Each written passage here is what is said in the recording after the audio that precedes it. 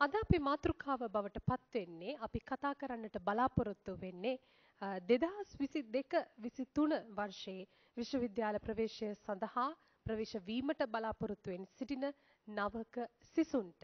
ඔබටයි අපි අද දවසේදී කතා කරන්නේ ඒ වෙනුවෙන් පැමිණ සිටිනවා මේ ප්‍රවෘත්ති සාකච්ඡාවට උසස් අධ්‍යාපන රාජ්‍ය අමාත්‍ය ආචාර්ය සුරේන් රාඝවන් මැතිතුමන් ඊටාම ගෞරවයෙන් රජයේ ප්‍රවෘත්ති දෙපාර්තමේන්තුව වෙනුවෙන් එතුමන්ව මේ ප්‍රවෘත්ති සාකච්ඡාවට පිළිගන්නවා.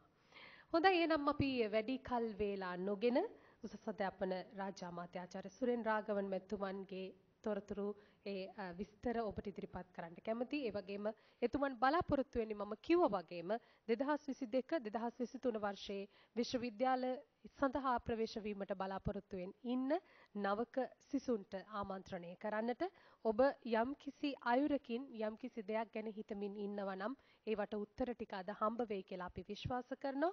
විශ්වවිද්‍යාල තුල සිදුවන නවක වදය වැළැක්වීම සම්බන්ධව අපි අද දවසේදී විශේෂ අවධානයක් යොමු කර මේ ප්‍රවෘත්ති සාකච්ඡාව ඉදිරිපත් කරන්න බලාපොරොත්තු වෙනවා රාජ්‍ය අමාත්‍යතුමන්ටයි ආරාධනය.